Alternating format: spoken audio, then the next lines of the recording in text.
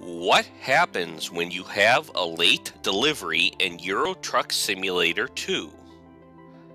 Hello, Hogziller here again, and in today's video I'm going to cover a topic that some people might have experienced and some might not have, exceeding the expected delivery time creating a late delivery.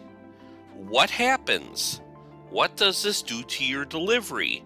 And how bad does this hurt the bottom line? Hopefully this video will help.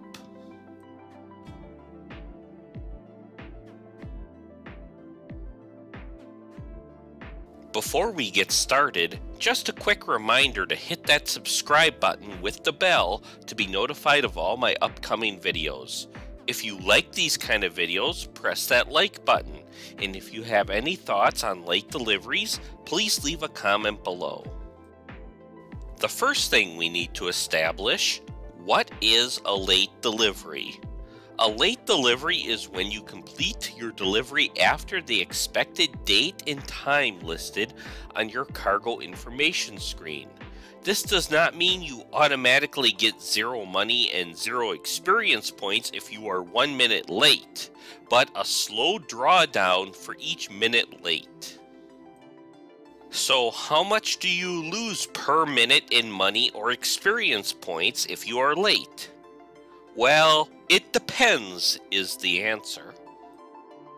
To test this, what I did is take a delivery right up to the expected delivery time, make a save file, then just keep delivering, reloading, and going ahead another minute for the first 15 minutes. Record the money lost and the experience points lost for each minute and compare it to the previous minute and keep track that way. After the first 15 minutes, then I only recorded the values every 15 in-game minutes. To find out how much money and experience points you lose, you need to establish what type of delivery you are completing between normal, important, or urgent. If you are making a normal delivery, you can deliver up to 2,880 minutes after the expected delivery time, or 48 hours. For important jobs, it is 720 minutes after the expected delivery time, or 12 hours. And for more urgent deliveries, you need to have completed it no later than 240 minutes after the expected delivery time or 4 hours. Any delivery after these thresholds will get you $0 and 0 experience points. So with this information, we will use the example of a delivery job for 250,000 we will say that you are one minute late. So you take one minute divided by each job type, then divided by the total money that you were expecting for the job. And you get the following values of 86 for normal job, 347 for important jobs, and 1041 for urgent jobs, just for being one minute late. For being 60 minutes or one hour late, you can take a major hit, especially for urgent jobs, as this would cost you 62,500. Once you've reached each minute level, you will get zero money for the delivery.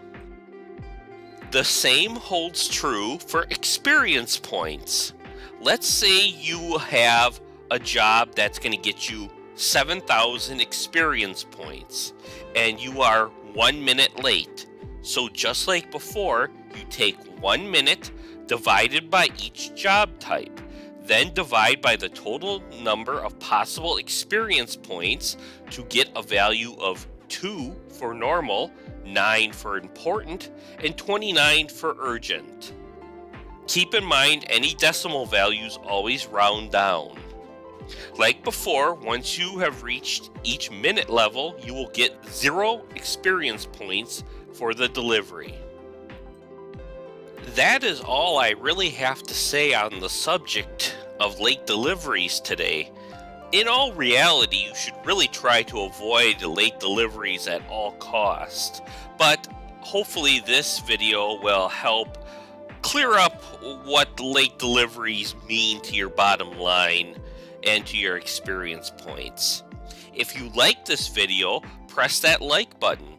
If you have your own thoughts or if I've made a mistake, please leave a comment below and please consider subscribing. Thank you for watching and I'll see you next time.